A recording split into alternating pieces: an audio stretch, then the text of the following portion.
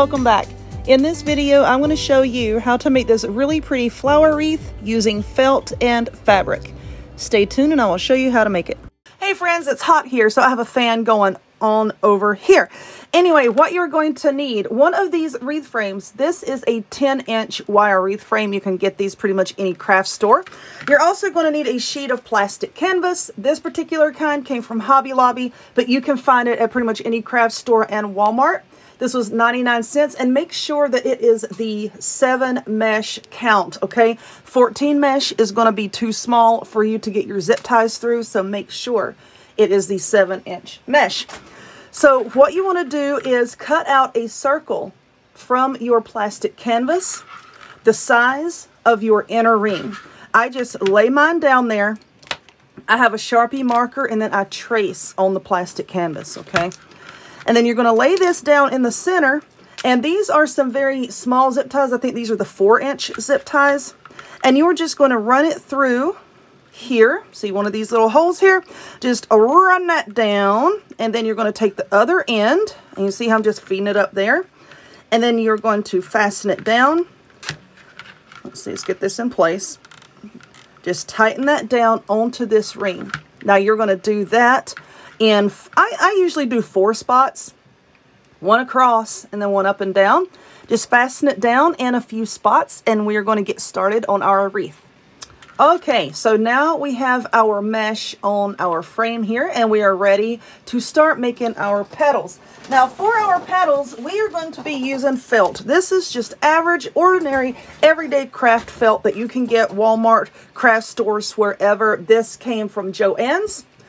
9 by 12. So basically what we're going to be doing is cutting this into a 9 inch square. And because it's already 9 inches wide, all we're going to do is just bend this down like so. See how your corner is going to be all nicely pressed here.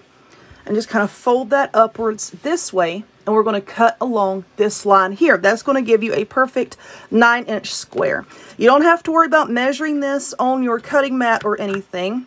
Just fold it over and cut it. Don't overcomplicate it. I think sometimes people overcomplicate things just to make it look like they're doing more than what they're actually doing.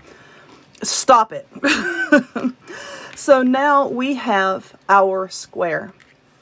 Now fold your square back again. Make sure your corners are meeting down here. This does not have to be 100% perfect. Stop feeling that everything has to be 100% perfect. And now we're just going to cut that square lengthwise like this, and it's going to give us two triangles. And now these triangles are the perfect size for our petals. Now what we're going to do is we are going to cut some fabric to go inside of our petals. And for that fabric, hold on, it's over here in the floor. I got this awesome Halloween themed fabric from Joann's. They are putting out a lot of their Halloween fabric and stuff now. And this is, what's today? July 2nd. So anyway, once again, stop overcomplicating this. I have a marker, or you can use a pen if you are using a light colored fabric and if you're afraid that a marker will bleed through, then use a pen. You can use some tailor's chalk. But I have this piece of um, cardstock here. I was scribbling a crochet pattern on the back. I've got paint here where I was putting some paint and using it to on another craft. And right before I throw this away, I'm going to use it one more time in this craft. So what we're going to do, this is cut to 8 inches, okay? This is an 8 inch square, 8 inch by 8 inch. I'm just going to lay that on my fabric. And I'm going to lay this out on my big table over here here in a minute. And I'm just going to cut out a whole bunch of squares. And by doing it this way, it just makes it so much easier for you than laying it out on your cutting mat and using your rotary cutter and repositioning and all that. Just draw out your squares and cut them all out, okay? Because if you don't have a cutting mat, then guess what? This is going to be the easiest way for you. Now, how are we going to cut this? You're probably thinking, I'll just hit my chimes. Um, you're probably thinking, well, fabric is going to fray. No, my friend, we're going to use pinking shears pinking shears to cut fabric. If you sew, then you know what pinking shears are. If you don't sew, pinking shears, as you can see here, cuts the fabric and a bunch of these little jiggy jaggies and it stops it from fraying, okay? We're going to be gluing this down, so I'm not too concerned about it fraying anyway, but if you are concerned about it, just use your pinking shears. Cut slowly and cut carefully. You see, I'm just cutting along the line. Super simple. So let me cut out this square and I'll be back. Okay, so now we have this cut out and you see the edge here? That just helps to prevent it from fraying. So now we're going to cut this in half just like we did our piece of felt. Fold it, your corner to corner. Now I'm just going to use my regular scissors for this. And we're just going to cut that in half. And once again, this is going to give us two triangles. Okay, like so. So now let's get this orange. I already have a stack over here I've made with the yellow. So now we're going to use orange. Now what you want to do is line up your bottom lines here and make sure that your points are lined up as well. Okay, now you see how this looks? You see how now our fabric is smaller than our petal, our felt petal part so that you can actually see the color around it. Now we're going to fasten this down with some glue. You can use hot glue if you want to, but I'm going to tell you, if you use hot glue, if you use too much, it's going to ooze through your fabric, and then you're going to have like a shiny spot where the glue is, okay? But I have this Craft Bond fabric and paper glue. This glue is a little on the thick side, but you can find fabric glue, Walmart, any craft store. And you don't need a lot of this, okay? So now that our fabric is lined up, I'm just going to bend it down I'm just going to put a few dots here and there. You don't need a lot of glue, okay? Just a few dots here and there, and then we're just going to lay that back down and press it down. Now this glue takes about 24 hours to dry, okay? So what I've done over here, the stack that I'm working on, I have laid it under something heavy just to kind of hold it down. It's going to help to press it flat and help our glue to get a good hold. Now, I'm not too concerned with the very bottom here with putting a lot of glue on that because that's going to be fastened down to your wreath frame. Okay, so I'm not real concerned about that. Okay, so now this is what your petals will look like. I'm going to make a handful of these. I'm going to make eight of the outer ones and I don't know, maybe about six or seven for the inner ones. I don't know yet. Let me cut them all out and let me get them positioned and I can give you a better idea. Okay, so now that we have a bunch of petals made, let's go ahead and start putting them on our frame. Once again, I have my little four inch zip ties. You're just gonna go in. Now, when you bring your tail up, usually I only skip like one square between this section and this part here, okay? But these petals are pretty thick. So you are going to need a nice wide space in which to put them. So and I can't really, you're just going to have to look at this when you're making it and judge for yourself. You'll, you'll see what I'm talking about. Just make sure, you see how I put like two squares between this, how wide that is? That's going to give you plenty of space to cram your petal down in there, okay? So for your petal, just hold it up here at the top and take, take your little digits here and you're just going to just gather them together, you know, like so. Okay. And now you're going to take your end and you're going to feed it through your zip tie and make sure you get all of this in there as well, okay? You just take it and feed all of that in. Take your time. And just feed all of that in there. Now, when I do stuff like this, I'll feed it in there. Now, let's take a look. And let's make sure our petal looks the way we want it to look before we tighten everything down, okay? Well, this is looking pretty darn good. So now we're just going to tighten this down. Now we have all of this left down here. You can trim that off, okay? Just trim that off. And I'm going to continue to put petals around here. Now, I don't want my petals squished up right up on top of each other. I want them to still be able to flare out and look like nice uniform petals, okay? So I'm going to work on this all the way around and I'll be back. Okay, so I have so far used four sheets of felt and I have made eight petals. So now we're going to scoot down and make another row of petals. And now these petals are going to show up between the ones that we've already made.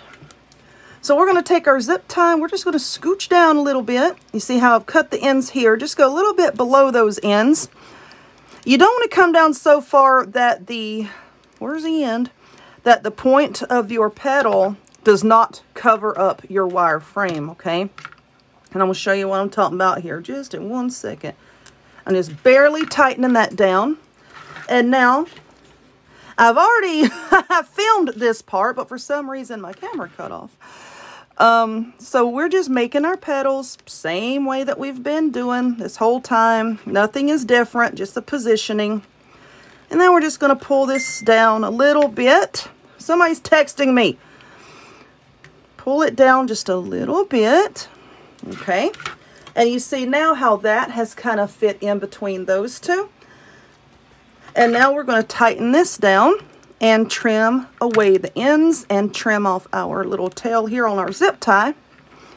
Just arrange your petal here. And I'm going to work my way all the way around again. And then we're going to start on the center. All right, friends. So this is what we have. I used four sheets of the yellow felt, four sheets of the orange felt. And for your fabric, this is roughly, I bought a yard, um, but I used roughly about half a yard, probably not even half a yard.